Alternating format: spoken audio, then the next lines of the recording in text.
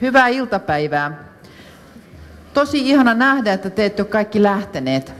Anu Autio on suunniteltiin tätä päivää ja sehän sanoi, että otetaan lopuksi paneeli ja mä sanoin, että voi vitsi, että ei. Mutta mä oon tosi iloinen. Kiitoksia, että olette paikalla. Ja mä oon teidän puolestanne iloinen, että kuuntelitte äskeisen esityksen. Se oli ainakin mulle hyvin elähdyttävä. Mä vaan mietin, että onneksi, eikö näin, että jos on, tota, on psykopaatti, niin sitä ei tunnista itse. Useimmiten ei. No joo, mutta ei mennä siihen. Tota, meillä on sellainen kiitollinen tilanne, että me käydään tämmöistä asiaa lävitse kuin ihmisoikeudet asumisessa. Joku kysyi mulla tuossa noin, että nyt asuminen on vähän niin kuin passé, että, että sehän on niin kuin jo hoidettu tässä maassa.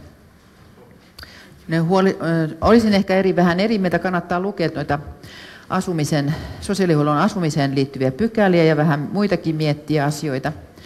Mutta tämä teema on nyt sellainen asia, että meidän kaikkien täytyy asua jossakin. Me ollaan tota, t- tätä paneelia nyt vähän mietitty ja pohdittu, miten tätä vietäisiin. Ja te olette kaikki myöskin panelisteja. Ja täällä on tota, kaksi mikkiä. Ja teillä on kaikilla kokemusta asumisesta. I hope so. Koska sitten olisitte asunnottomia. Eli tämä, tämä prosessi on tämän tyyppinen ja yritetään miettiä näitä asioita. Ja ehkä sitten itse ajattelen tällä hetkellä, että mä toivon, että mä saan ajatuksia, että toivottavasti muutkin läsnä olevat, jotka ovat rakentamassa uutta vammaislainsäädännön liittyvää lakiehdotusta. Mutta tota, mm, esitellään ensiksi itsemme ja sitten me lähtee, lähtee homma käyntiin. Mutta itsestäni sanoisin, että, että mä olen aikoinaan mennyt Stakesiin asumispalvelujen laatusuositusta rakentamaan ja se työ olikin hyvin mielenkiintoinen, koska tota, täällä eilen joku sanoi, että laatu, laadusta tuli aika prosessinomainen ja nämä kaikki asiat pystyttiin pilaamaankin myös. Mutta se opetti mulle sen, että se on yksilöiden ja jokaisen ihmisen oman näköinen se asunto. Mutta se kotirauha, joka meillä on perustuslaissa tällä hetkellä, niin se on tullut mulle hyvin tärkeäksi rakkaaksi. Että jokaisella pitäisi olla kotirauha. Että sitten kotirauhasta ja sen lähestymisestä tunnistaa sen asunnon. Nämä on mulle niin hirveän tärkeitä ja varsinkin kun olen ollut joskus palvelutalon johtajana ja asunutkin palvelutalossa ja asumisryhmissä ja kaikkea tämmöistä, niin aina miettii sitä kotirauhaa ja yksilöllisyyttä ja oikeutta olla omissa sotkuissaan, vaikkei se jonkun standardin mukaan olekaan. Tänäänkin aamuna huomasin villakoiria. Minä, minä kyllä määräsin 18-vuotiaan poikamme sanomaan, että voitko imuroida ennen kuin tuun kotiin. Hän lupasi, mutta katsotaan nyt, miten tämä laatujärjestelmä on. Mutta jollekin se olisi aivan järkyttävä lähteä aamulla. Joku olisi imuroinut. Mulla on kavereita, jotka olisi aamulla imuroinut. Mutta tämä on asumisen tätä ihmisoikeutta, että mulla on oikeus lähteä kotoa aamulla, vaikka siellä on villakoiria. Mutta onneksi mä en, en ole kenenkään, niin kun, mä tiedän sellaisia asumisyksiköitä, joissa se olisi ihan järkyttävää. Joku kävisi auditoimassa sen. Mutta siis, että mulla on tämmöistä, että mä oon aika vanha jo, ja, tai siis sillä tavalla ihan riittävän vanha tähän hetkeen, ja mulla on paljon kokemusta asumisesta. Mä oon asunut 19 paikkakunnalla, eli 19 asunnossa, ja kaikenlaista on mietitty. Ja mä olen rikkonut ihmisten kotirauhaa olemalla palvelutalon johtaja menemällä väärään aikaan väärään asuntoon.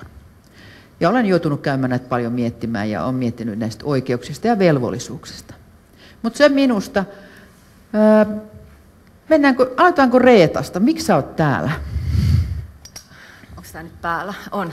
Ähm, joo, mä oon Reetta Mietola Helsingin yliopiston sosiaalitieteiden laitokselta ja mut on pyydetty tähän todennäköisesti sen takia, että mä oon ollut tekemässä vuosina 2011-2012 tällaista selvitystyötä ympäristöministeriölle ja kehitysvammaliitolle, mm. jossa tarkasteltiin tätä kehitysvammaisten asumisen ohjelmaa. Tavallaan se liittyy siihen kehitysvammaisten asumisen ohjelmaan ja siinä tarkasteltiin sitä, että miten kehitysvammaisten henkilöiden asuminen on järjestetty useammassa pohjois-eurooppalaisessa maassa ja sitten, sitten tota toisaalta, että mi, miten sitä rahaa, jota, jota oli kiinnitetty tähän kehäsohjelmaan, jota edelleenkin siellä jaetaan, niin ilmeisesti Kyllä. uskoisin. Kyllä. Niin tota, että mi, mihin, mihin se tällä hetkellä kohdentuu ja, ja miten, miten sitä kunnissa myös käytetään, mikä nä, millainen nähdään, että sen, sen rahan merkitys on siinä, kun, kun tota, rakennetaan uutta asumista kehitysvammaisille henkilöille. Eli tavallaan se iso kysymys oli se, että miltä kehitysvammaisten henkilöiden asumisen tulisi tulevaisuudessa näyttää. Siitä semmoinen tämmöinen raportti tuli sitten vuonna 2013, löytyy ympäristöministeriön sivuilta. Ja sitten mä olin myös samoihin aikoihin mukana tämmöisessä kuin Arjen keskiössä hankkeessa, jossa, jossa tätä pyöritti ARA ja Kehitysvammaliitto, jossa sitten neljän kunnan ja kolmen erityishuoltopiirin kanssa mietittiin sitä, että, että, että, että miten sitä asuntosuunnittelua, asumisen suunnittelua pitäisi tehdä silleen, että, että saataisiin uusia näkökulmia ja uusia lähtökohtia, uusia malleja asumiseen.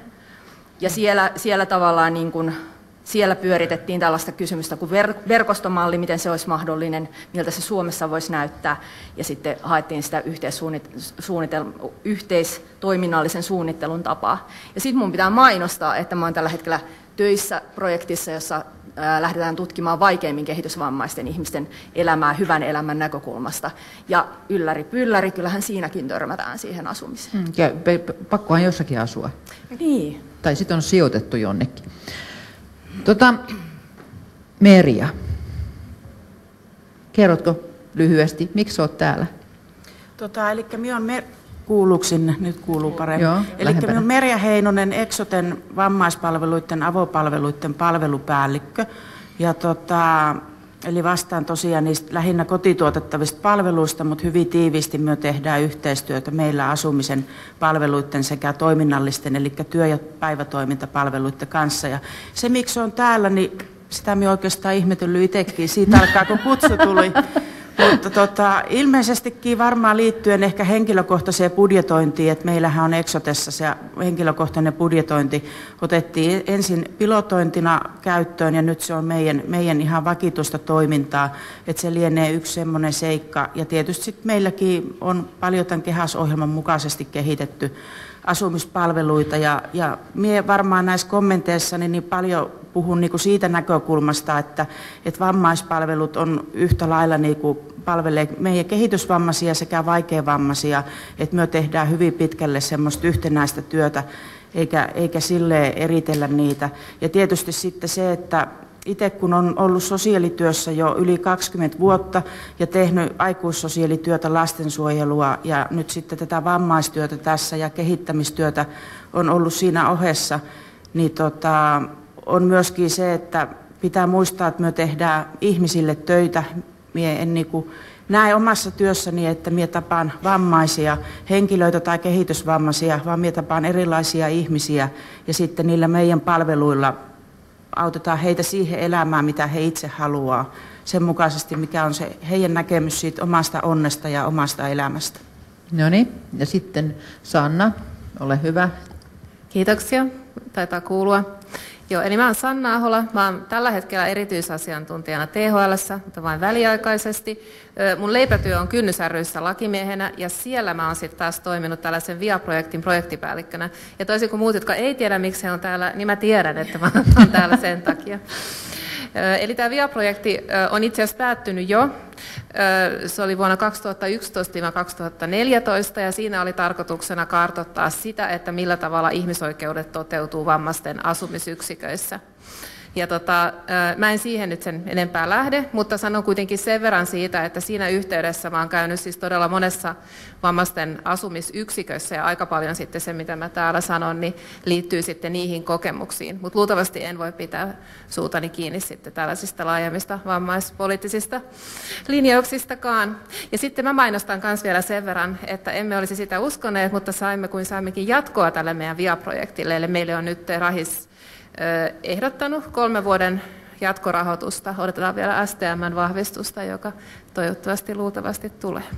Ja sitten mun täytyy vielä sanoa, että minusta on ihana, kun tässä oli äsken tämä Elisan puheenvuoro, koska mulla oli tässä Mä vähän valmistelin noita myöhempiäkin kommentteja, pakko myöntää, että on pieni luntti. Ja mulla oli hirveät vaikeuksia formuloida tiettyjä ajatuksia. Mä yritin Reetaakin kysyä, mutta ei ne ihan ollut kummankaan meidän lajin. Nyt mulla on termit. Kiitos. Hienoa. No, niin mä olen lähettänyt muutaman kysymyksen, kun tuli näitä kysymykset, että mitä tässä on niin tarkoitus tehdä, ja sitten mä en ihan yhtä muista. Me ollaan kerran oltu parin heidän kanssa paneelissa, ja silloin me keskusteltiin, mutta me ei muistettu kukaan, mitä me ollaan keskusteltu, mutta ihmisoikeuksista me ollaan keskusteltu. Mutta hei, mä haluaisin kysyä, että jotenkin tuon äskeisenkin puheenvuoron innoittamana, että hei, että mitä ihmisoikeudet merkitsevät teille jokaiselle? Merja, sano sä ekana. No ainakin sitä tietenkin, että saa, saa asua itse valitsemassaan paikassa, itse valitsemassaan ympäristössä niiden henkilöiden kanssa, joiden kanssa haluaa asua. Eli on valinnut itse ne asuinkumppanit, vaikkakin joskus 20 avioliittovuoden jälkeen tuntuu, että on se itse valittua. Mutta, mutta tota, mut si, ja sitten tietenkin kaikki muukin tämmöinen, että saa sanoa, mitä itse haluaa sanoa, saa päättää omia asioita, saa ottaa niihin kantaa. Vaikkakin olisi sellainen asia kyseessä, että, että tarvii mennä itsekin viranomaisen vastaanotolle, niin totta kai toivoo, että se henkilö kuuntelee aidosti ja tehdään sitten semmoinen yhteinen ratkaisu niissä puitteissa, missä se on mahdollista tehdä. Mutta se kuulluksi tuleminen on ihan äärimmäisen tärkeää. Hmm. Siitähän oli eilen oliko se tänä aamuna, nyt menee vähän sekaisin nämä luennot, mutta joku sanoikin, että, että ei, on tärkeää, niin Liisa sanoi varmaan eilen, että, että edes johonkin tarttutaan, että kunhan se on sen ihmisen oma ajatus. Nimenomaan, ja tietysti sitten kaikki nämä uskontoasiat, kulttuuriasiat, sananvapaudet mm. ja tämmöiset on tärkeitä, mutta, mutta se on tärkeää, että saa itse valita sen päiväohjelman, ylipäätään ja sen, että keitten Saako kanssa muuttaa on sitä päiväohjelmaa kesken saa, kaiken? Saa. Tosin välillä on ulkoisia seikkoja, että ei oikein pysty, pysty että täytyy niinku mukailla sit sitä ympäristöäkin, mutta kuitenkin täytyy kaikilla ihmisillä olla oikeus päättää omista asioista. Et, ja se kuuntelu, niin sitä korostaisin, että se on, on hirveän tärkeä seikka, että tulee kuulluksi. Se on meille kaikille ihan äärimmäisen tärkeää. Ja se, että koetaan sitä ja saadaan sitä empatiaa mistä äsken kuultiin. No mitä meidän juri, juristi sanoo ihmisoikeuksista? Mitä se merkitsee Joo, sulle? No, tämä oli just se, missä mä lähdin nyt vähän pois mukavuusalueelta. Niin mä rupesin miettimään tätä nyt hirveän paljon jotenkin sillä tavalla äh, ehkä abstraktimmin, mutta mä ajattelin, että mitä ne ihmisoikeudet on, että, että mistä ne niin oikein on tullut, niin mä ajattelin näin, että ne on ikään kuin tiivistelmä siis sellaisista eettisistä periaatteista, mitkä ikään kuin meillä kaikilla on, tai mitkä on tietysti, nyt mä opin, että ne lähtee täältä humanitarismin perinteestä, ja, tota, ja jotka pohjaa siis nimenomaan siihen, että meidän täytyy ajatella, että kaikilla ihmisillä on semmoinen tietty synnynnäinen arvo, että ei ole niin kuin me ja sitten ne muut ihmiset, joita voisi kohdella jotenkin huonommin sitten. Ja sitten mä otin tähän vielä runon pätkän. Tämä on John Donnen, No Man is an Island, tässä on vain kaksi riviä siitä, menee näin. Any man's death diminishes me because I am involved in mankind. Niin mun mielestä tämä nyt kuvastaa siis sitä, mistä on kysymys. Että me ollaan niin kuin kaikki nyt samassa veneessä, että tästä lähdetään. No niin, Reetta. Ihmisoikeudet. Joo. Mitä ihmisoikeudet sinulle merkitsevät? Tuota, joo, en, sitten mä en puhu taas juridisesta, mutta mä olen jotenkin joutunut tässä miettimään tätä nyt myös, myös uuden tutkimuksen lähtökohdista. Ja tämä on nyt taas sitten tämmöistä, niin kuin menee taas vähän ylätasoon, mutta mä nyt ajattelen niin, että ne ihmisoikeudet kuvaa sellaisia niin kuin käsityksiä, yleisiä käsityksiä oikeudenmukaisesta yhteiskunnasta. Eli si, si, semmoista asioista, mihin jokaisella henkilöllä pitäisi olla tasavertaiset oikeudet.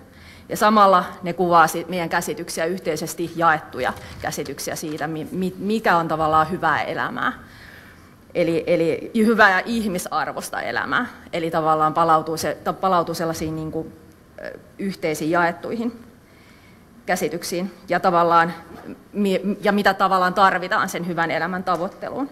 Ja, ja minusta se keskeinen juttu on tavallaan se, että ne ei ole pelkästään vapauksia, ne ei koske pelkästään vapauksia, vaan, vaan siinä on myös kysymys siitä, että miten me tehdään todellisia mahdollisuuksia ihmisille, että, että ne voi tavo, tavoitella sitten sellaista elämää, minkä, minkä he näkee hyvänä.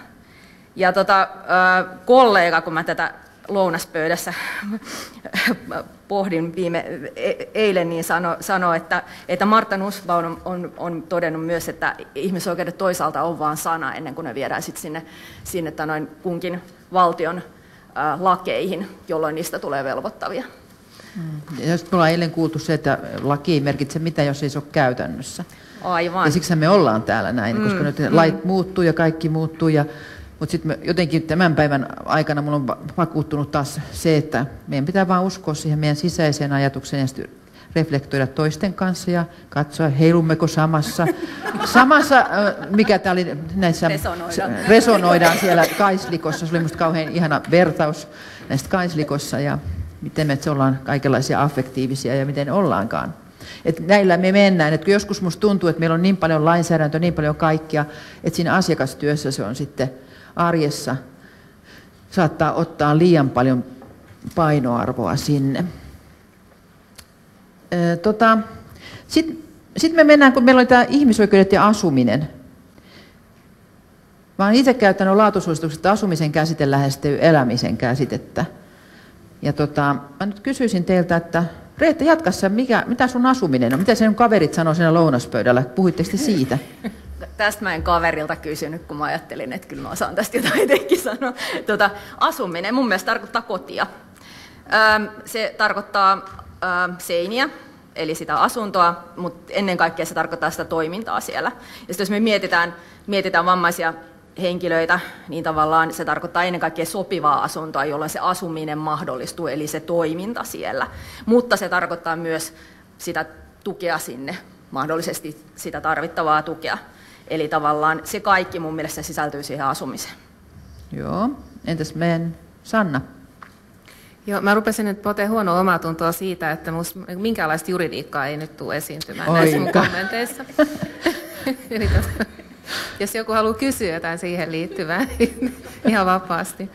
Niin mä otin tähän vaan tällaisen niin kuin ihan siis litanian, että minkälaisia asioita tulee mieleen asumisesta. Niin mä teen yksityisyys, lämpö, turva, rauha, ihmissuhteet. Rauha ja ihmissuhteethan ei välttämättä ole siis niin kuin yksi yhteen, niin kuin tuli todettua näistä 20 vuoden avioliitosta muista, mutta eli siis sen täytyy olla se rauhallinen paikka, mihin sä voit mennä ja olla itseksesi ja olla niissä pitkissä kalsareissa ja syödä niitä sipsejä ja kukaan ei paheksu sua.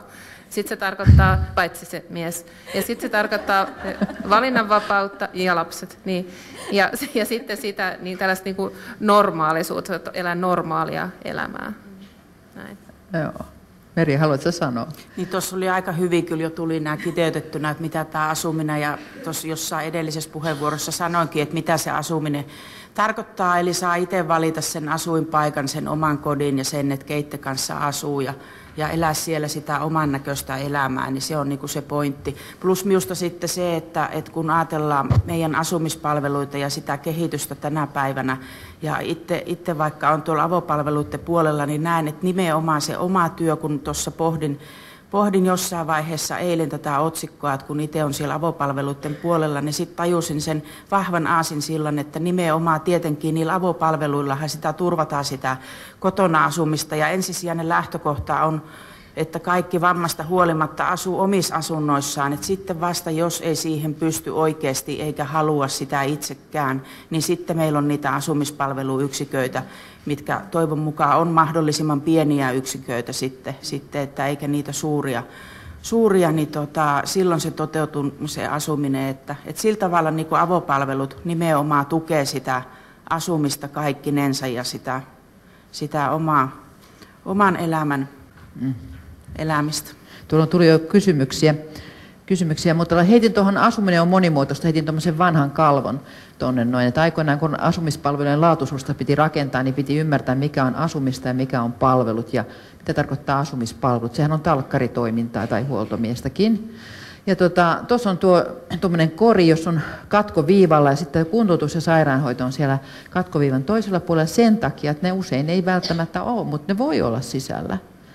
Mutta jos ajattelee, että me ollaan aloitettu semmoisesta, että joskus aikoina, mitä mieltä te olette panelistit ja muutkin, että me ollaan aloitettu joskus 80-luvullakin oli asumisyksiköissä, joissa piti hoitaa niin kuin hammashuolto tehdä. Mulla on 80-luvulla soitettu ja sanottu, että etteikö voi hoitaa psykiatrista vaikeavammaisten palvelutalon johtajana, että se nyt itse voisi antaa psykoterapiaa sille henkilölle. Mä sanoin, että no ei nyt ihan onnistu, eikä ole järkevää, että asumisyksikössä niin kuin toimitaan. Et, eli on ajatus, että vammaisuus on semmoista, että vammaispalvelun pitää hoitaa kaiken. Myöskin hammaspaikkauksenkin olen kuullut, mutta ei nyt ihan. Mutta tuossa on tämä koppi. Tämä on nyt vain muistutuksena, että mikään asiat ei muutu, että asuminen, asuminen on tämän tyyppistä. Tuolla on tota mun mielestä yksi Onko ihmisellä oikeus valita asuinpaikkakuntansa vaikka kotipaikkakunnalla, jos tarvitaan vamman vuoksi? Tämä olisi niin kuin juristikysymys. Haluatko juristina vastata? Kun kaipasit joo, vähän jo, sitä. Niin, aika, joo, nyt mä vastaan ihan juristina. Niin, mä en tarkistaa vielä tämän kysymyksen, että mä ymmärsin oikein. Juristinmaisesti. Tämä on. No, mä sanon nyt ihan omana juridisena mielipiteenäni, edustamatta mitään taustaorganisaatiota. Kyllä, ihmisellä on oikeus valita asuinpaikkansa. Ja tämähän nyt on ihan siis peruskauraa, sehän tulee suoraan perustuslaista se ja voimassa olevista ihmisoikeussopimuksista, siis Suomessa voimassa olevista, että näin pitäisi tietenkin aina olla.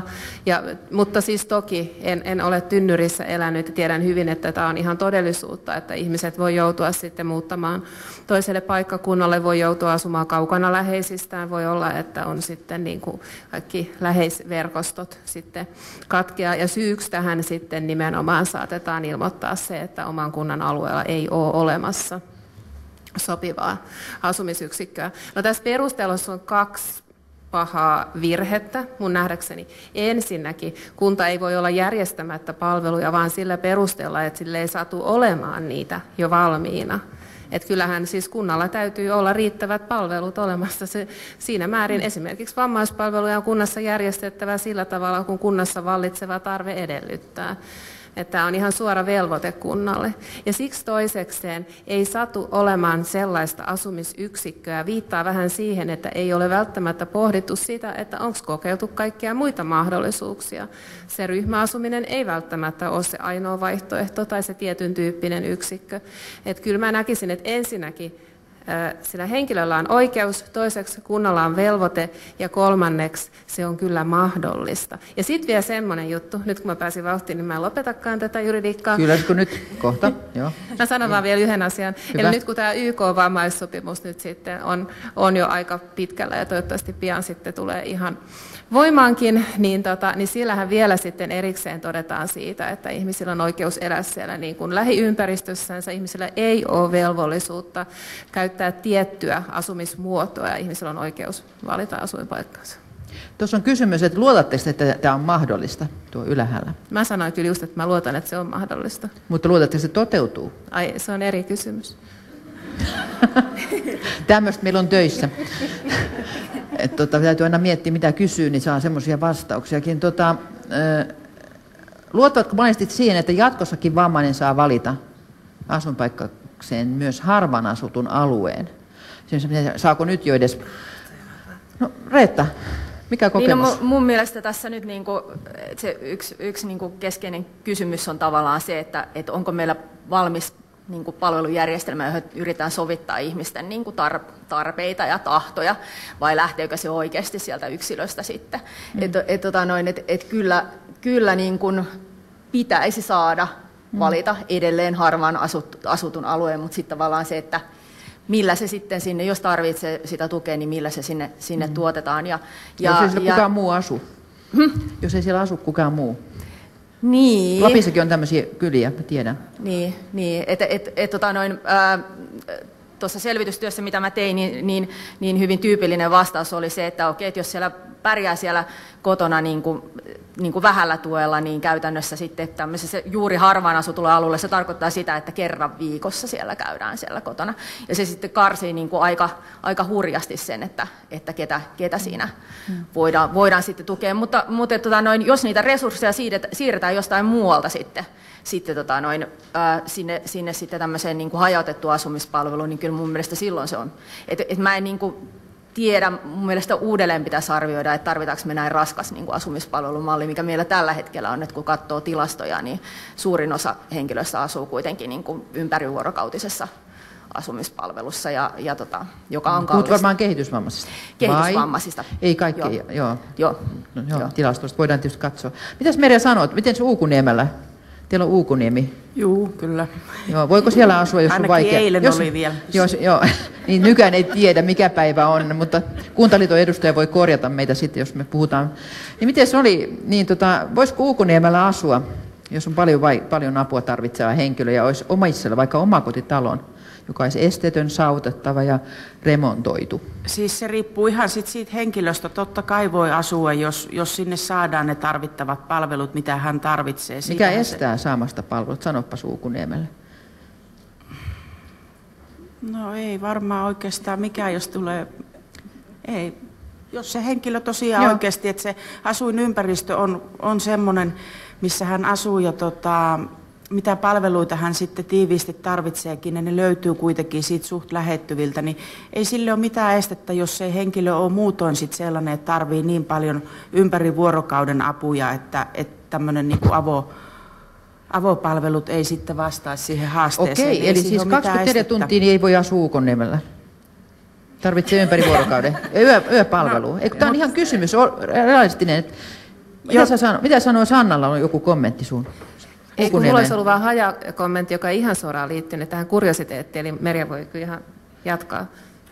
Joo, niin siis sen olisi halunnut sanoa vielä, että tota, me tarvitaan tähän työhön muutakin kuin vammaispalvelutoimistot ja sosiaalityöntekijät vammaispalveluiden puolelta. Joo. Että tässä tarvii niinku sen yhteiskunnallisen haasteen, että me saadaan kaikki tekemään tätä vammaistyötä mukaan ilman niitä asenteita, kun itsekin istuu asumispalvelun yhteistyöryhmässä, niin ilman niitä katseita, kun lähdetään miettimään, että mistä se esteetön asunto nyt saadaan siitä keskikaupungilta, niin niitä katseita ei pitäisi enää tulla, mitä se sitten aina välillä herättää.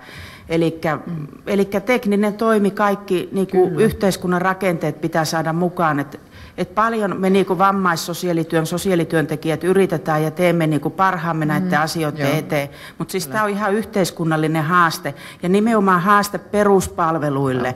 Et nyt kun kuuntelee, niin kuin eilenkin kuunteli tätä lakijuttua ja tänään, niin tota, peruspalveluihin, kun tietää minkälaisessa kurimuksessa ne tällä hetkellä on, niin sinne pitää satsata, jotta sitten tämä meidänkin asiakaskunta saa ne palvelut, joihin he mm. oikeasti on niinku oikeutettuja.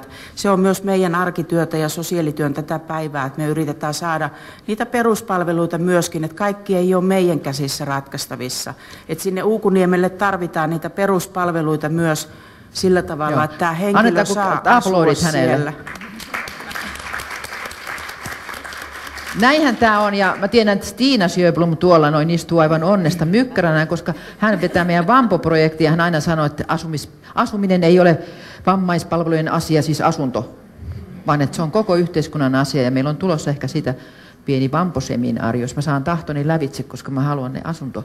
Mutta Reetal on ihan hirveästi. Nyt niin, ole hyvä. Siis vaan, vaan siitä, että arjen, Anteeksi, arjen, arjen keskiössä hankkeessa, niin tota, tota, jossa just yhtenä tavoitteena oli saada tämmöistä niin kuin hallinnon alojen välistä yhteistyötä käyntiin, niin se oli aika mielenkiintoista sit, sitten niin kuin, äh, parissakin kaupungissa niin kuin otettiin yhteyttä sitten äh, sinne, sinne kunnalliseen ähm, asunto asuntoorganisaation yhtiöön, niin, niin, niin kuin ei aluksi niin kuin tavallaan, että kun ei ymmärretty, että miksi mikä heidän niin kuin jotenkin, miksi heitä siihen tarvitaan, tai, tai, tai sitten niin kuin kaavoituksen puoleen, että minkä takia he, heitä. Mm. Ja, ja sitten kaavoituksen kanssa se, että okei, että ruvetaanko puhumaan jostain muusta kuin Y-tonteista, että, että kysymys silloin, kun Joo. me puhutaan vammaisten henkilöiden asumisesta, niin kysymys ei ole siitä, että mihin se seuraava palveluasumisyksikkö rakennetaan, vaan se, että esimerkiksi, että, että, että kun, kun remontoidaan tämä tämä kerrostalo, niin saataisiko sinne niitä esteettömiä asuntoja Kaikki kuinka monta. Eli, eli, eli tavallaan semmoinen, niin, kuin, niin, niin ja, ja just, että uudishankkeet ja, ja muuta, ja millä tavalla se palvelu saadaan sinne, sinne sitten niihin tavallisiin, tavallisiin tanoin. Ja, ja itse asiassa sit, siinä vaiheessa, kun, kun he ymmärsivät, miksi he ovat siinä, siinä pöydän ääressä, niin, niin tapahtui todella tämä, että, että, niin kuin, että asia, eri asioiden asiantuntijat ottivat niin kuin vastuun omasta asiantuntija-alueestaan. Eli, eli niin kuin, okei, minä, että, että kyllähän ne on siellä, siellä siellä rakentamisen puolella ihmiset, jotka tietää sitten niistä asunnoista tai kaavoituksen ihmiset, niin kuin paljonkin miettineet sitä, miten rakennetaan sitä kaupunkiympäristöä, niin että se toimii kaikille. Eli tavallaan niin kuin se semmoinen, että ei se hirveän paljon enempää vaatinut kuin se, että viedään ihmiset saman pöydän ääreen ja vähän aikaa pakotetaan ne istumaan Joo, tässä yhteydessä on pakko sanoa, että asun, estetön asuntohan ei maksa paljon mitään, jos mm-hmm. rakennetaan alusta pitäen, ja siitä on ympäristöministeriön sivuilla hyvä hyvä juttukin. Mutta hei Sanna, sulla oli nyt Mulla oli monta, että mä en, enää, mä en enää muista. Joku niistä. Ei, kun mä, joo, yhden mä muistan, ja se liittyi siis kompaan molempia, siis Merja ja Reetta. Että kyllä, juuri näin, että myös että niiden yleisten palveluiden ja muiden palveluiden täytyy siis olla tässä yhteydessä, ja ne yhteydet voi olla niin kuin monenlaisia. Että ei nyt ehkä päde sitten ihan sellaiseen tilanteeseen, missä on se yksi mummon mökki siellä keskellä tietöntä taipaletta, mutta että esimerkiksi ihan siis kuntien niin kuin joukkoliikenne, palvelut vaikuttaa hirveästi siihen, miten esimerkiksi henkilökohtaiset avustajat pääsee töihin. Mm. Siis tämän tyyppisiin asioihin. Eli kaikki tämmöinen, monenlaiset asiat vaikuttaa. Ja kuten mäkin ajattelin heti Stiina, että Stiina osaisi tästä kertoa paremmin, mutta ei varmaan nyt halua näyttää vähän siltä. Mutta joka tapauksessa Stiina on tuolla nurkassa. Voit vilkuttaa kaikille. Niin, voit vilkuttaa, joo. Et kaikki ei tosiaan tietenkään ole vammaispalvelujen tehtävänä. Joo. Hei, tuolla on kiinnostava kysymys, että pitääkö, jos mä ymmärrän tuon oikein, ihmisillä on oikeus, se olikin hyppä, kysymys paljon, että pitäisikö kuntoutus ja asuminen erottaa toisistaan? Tarvitseeko omassa kodissa jaksaa aina olla asiakas tai kuntoutuja? Mä kuntoilen sattuneesti aina kotona, mutta mulla ei ole kukaan tullut vielä kuntouttamaan mua sinne, mutta voisikin niin käydä. Mutta joskus, mä kerron näitä, panelistilla on varmaan oma mielipide, mutta joskus palvelutalossa ajattelin, että jokainen työntekijä, kun meni jo nostamaan asukasta, niin sanoi, jos mä olisin asunut siinä, olisi sanonut mulle, että oletko ajatellut Päivi, että sun pitäisi vähentää ruokailua. tai jotakin tämmöistä, tai oletko ajatellut. Et mitä se tuntuisi maata, maata siinä sängystä? En tiedä, mitä empatiaa tämä nyt sitten on. Lähtikö hän pois jo? Hyvä. mutta jotakin empatiaa. Mutta mä olisin yhtäkkiä järkyttynyt, että jos joka aamu joku tulisi ja sanoisi, että ootko ajatellut? niin ootko nyt oikein Pirjo ajatellut joka päivä jotakin asiaa? Et joku aina niin kuin, ja sitten istutaan jossakin kuntoutuskokouksessa tai jossakin kokouksessa, että, että nyt vihjaillaan kaikki sille, että se ymmärtää. On semmoisessa kiistunut joskus, että on sanottu, että, että, nyt, että kun joku on kysynyt, että miten sanoisi, mä sanon, että voisiko nyt suoraan sanoa, että, että mua huolestuttaa sun, että kun sulla on ihan likainen kasvo, niin mua, että voisiko pestä joskus, tai että jos haisee, niin voihan sitä sanoa vielä, ei sitä tarvi julkisesti tämmöisessä sanoa, mutta että voi kaverille sanoa, että oletko huomannut, että vähän hienhaju on, Tietysti riippuu minkälainen empaattinen taso on. Mutta Sanna, korjaa. En, en korjaa, kun siis tuli vain tästä mieleen, siis tästä, että pitääkö olla kuntoutujana siellä kotona. Ja nyt mun on pakko muistaa, että mä en, tai siis myöntää, että mä en muista lähdettä kunnolla, mutta Susanna Haapala Assarista ehkä muistaa. Muistaakseni Raija Mansikkamäki Aspasta kertoi semmoista tarinaa, että oli tämmöinen henkilö, jolla oli henkilökohtainen avustaja. Ja nyt Susanna sanoi, jos mä sanon väärin. Ja sitten tota, tilanne oli se, että aina kun tämä avustaja tuli, niin avustaja halusi, että lähdetään lenkille. Niin siitä seurasi sitten se, että kun tämä avustaja tuli, niin tämä avustettava henkilö meni piiloon, sänkyyn, peiton alle.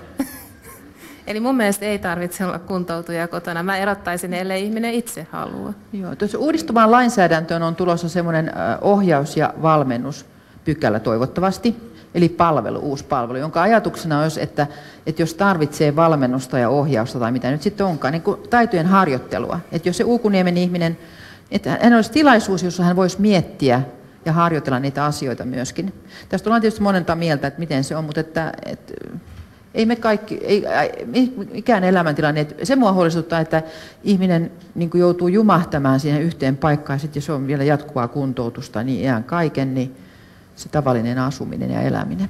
Mutta Merja ja, ja sitten... Ja tässä haluaisin just korostaa sitä vielä, että pidetään sitä ihmistä niin kuin ihmisenä, että he ei ole kuntoutuja asiakkaita, potilaita, vaan ennen kaikkea ihmisiä, joille me sitten myönnetään Joo. niitä palveluita. Että se on niin kuin tärkeää muistaa ja varsinkin sosiaalityön työntekijän muistaa, että kun kohdataan ihmisiä, mm. niin he on ihmisiä ja tota, ei kohdella diabeetikkoina tai, tai mitenkään, että olisi joku tämmöinen leima otsassa, niin se on varmaan yksi tekijä tässä kanssa. Niin se oli joku efekti, tai mm. siis tuommoinen tämähän on joku tapa, että nähdään ihminen ihmisenä, mitä meidän pitäisi noudattaa. Joo.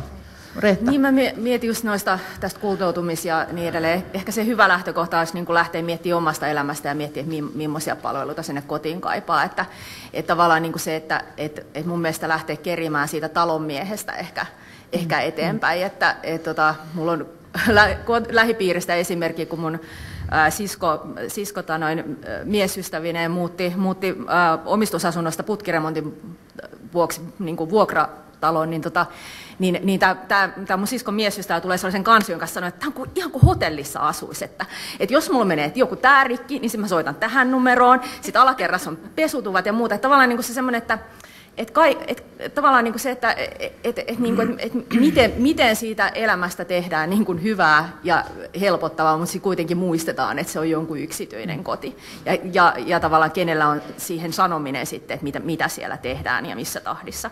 Toinen asia on sitten niin kuin, tavallaan tämä, tämä niin kuin, että jämähdetään yhteen paikkaan.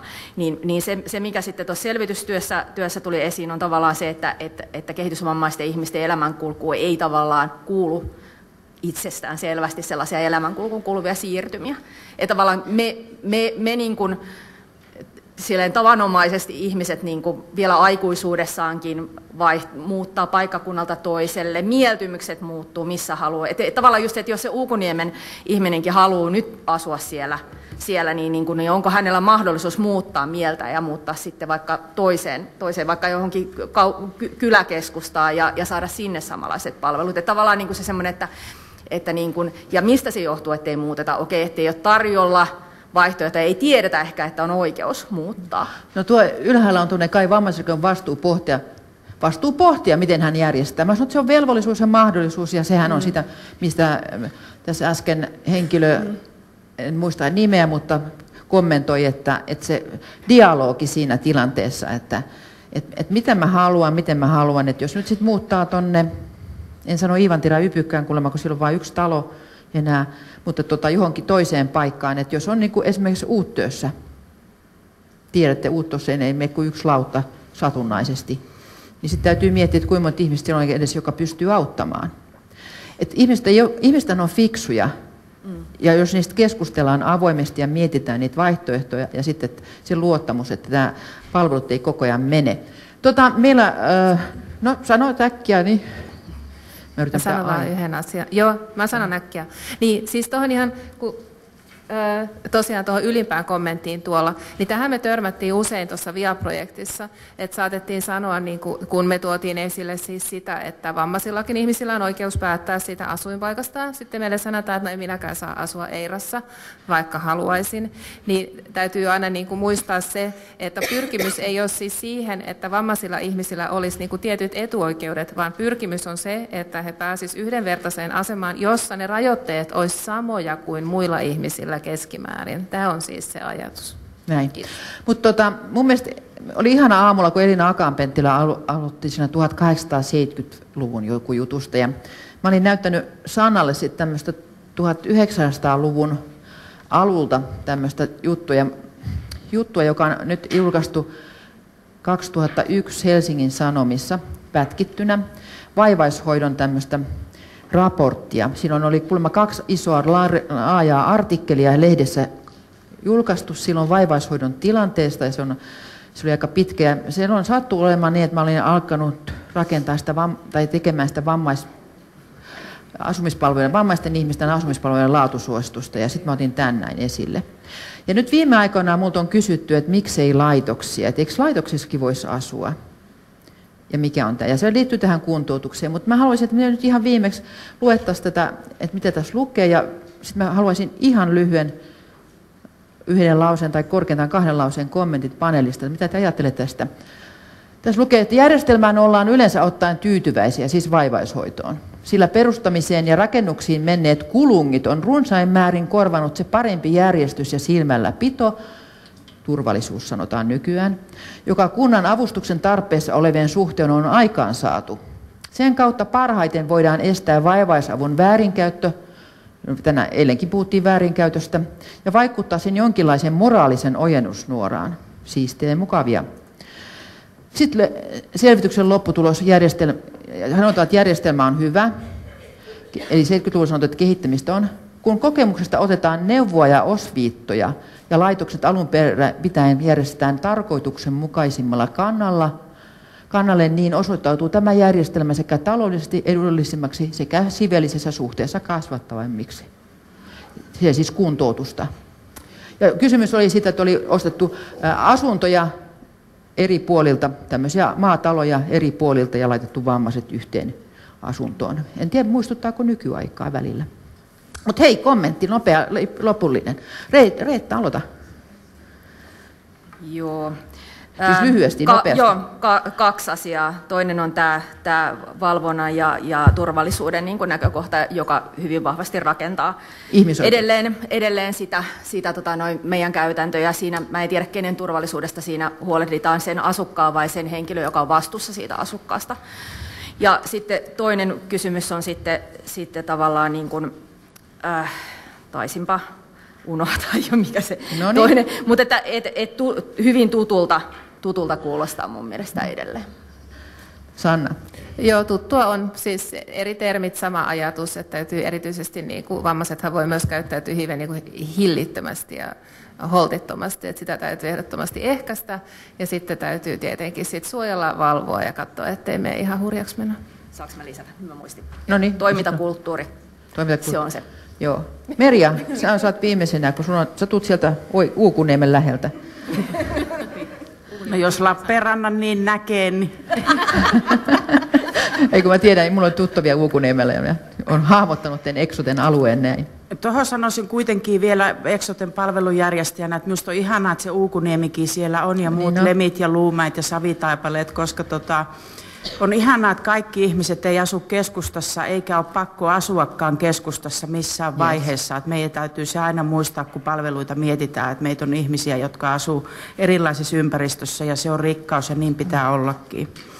Mutta noista kalvoista, mitä tuossa näkyy, niin mitä tuossa näytit, niin itselle tuli se, että kun tuossa oli silloinkin näköjään nostettu nuo kulut merkittäväksi mm. tekijäksi, niin tota, kulut ei saa meidän työssä ja sosiaalityössä olla pääpointti. Meillä ei ole se ketunhäntä kainalossa suinkaan aina, mutta toki ne asettaa meille semmoisia raameja, joiden parissa meidän sit pitää työskennellä niin hyvin kuin me pystytään työskentelemään ja saada siihen se muu yhteiskunta mukaan. Se on niin myöskin sitä sosiaalityön roolia, ei pelkästään se päätöksenteko. Ja sitten kiteytettynä lopuksi niin lyhyesti, ne jokainen kohtaaminen on tärkeä. Näin on. Ja tässä voisin sanoa, että vammaisia palvelupiirissä on tällä hetkellä noin arvio mukaan 3,2 prosenttia, joista vaikeasti niin paljon apua tarvitsevia on ehkä tämmöinen 1 prosentti. Ja jos meidän yhteiskunta ei sitä kestä, että ne ihmiset saa palvelun, niin en tiedä mitä me kestetään. että tota, näillä mennään ja yritetään mennä, että paneeli nyt loppu. Emme pyytäneet ketään puheenvuoroa, mutta kiitos teille, kun olitte läsnä.